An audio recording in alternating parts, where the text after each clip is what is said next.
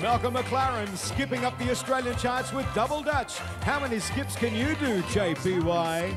Here he is, your countdown host for tonight, our old friend John Paul Young.